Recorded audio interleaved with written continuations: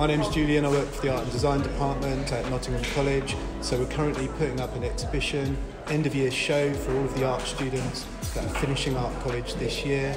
Um, it's an exciting time for them so that they can showcase their work and we can celebrate that with the public. So at the moment we're pretty busy with lots of members of staff and all the students putting up the work in the studios.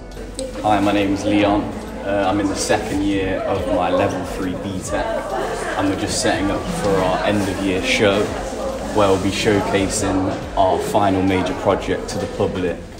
I've made a fashion collection where I've looked at the theme of movement and the way it surrounds us uh, using shape, form and pattern.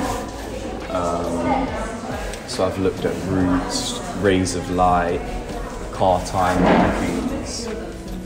So yeah, it would be nice to end the year off with a show to the public. Uh, my name is Emily Sorry and I do the general art and design on level 3. Um, I do interior design, so under the architecture like sector. Um, I'm going to progress to Cardiff Metropolitan University doing interior design. Um, I've redesigned some beach huts located in Saltburn by the Sea, as I'm very familiar with the space.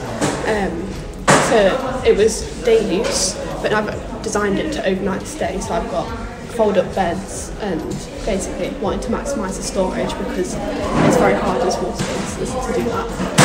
I think the end of year show is like really good for the students because it gets you able to like display your work and see what it's like professionally, if you know what I mean. Like if you, it's like an exhibition basically, yeah. So being able to do it professionally, to have it all laid out and measure it, make sure it's all level and all that is like a good way to practice.